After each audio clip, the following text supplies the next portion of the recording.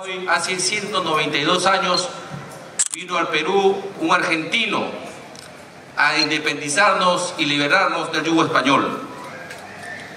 Aun cuando estuvo acompañado de gente extranjera, el grupo de peruanos que lo acompañó también luchó porque hoy esa bandera flamee en lo alto y que lamentablemente cada vez estamos perdiendo más ese amor a nuestra bandera. Soy eminentemente formal cuando se trata de la patria, pero sin embargo aún hay que instar a mucha gente para que coloque su bandera sabiendo de que es una obligación moral de cada persona. Solamente por cumplir a veces se pone la bandera y no se pone con ese amor, con ese cariño como corresponde. Tenemos en este momento que velar por recuperar ese amor, ese sentimiento patriótico.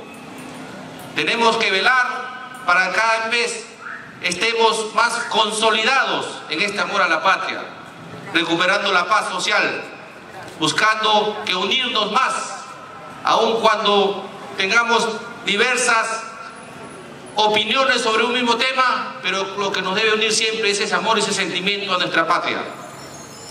Muchos héroes lucharon y murieron para que esa bandera nunca pise un suelo, arriesgaron su vida y hoy nosotros estamos aquí libres, felices y contentos de vivir en libertad.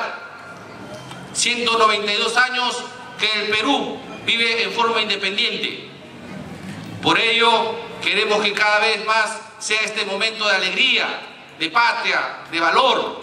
Hoy no tenemos la voluntad de realizar ese evento que acostumbramos a hacer en todo el país, como es el desfile en honor a la patria. Hoy día es un día memorable para luchar, para conseguir, para alcanzar nuestras metas, para no desfallecer, para no buscar protestos, para usar la razón, para comprometernos consigo mismo, para luchar y velar por los niños, por la educación, por la cultura. Gracias amigos de Chancay, felices fiestas patrias, feliz 28 de julio.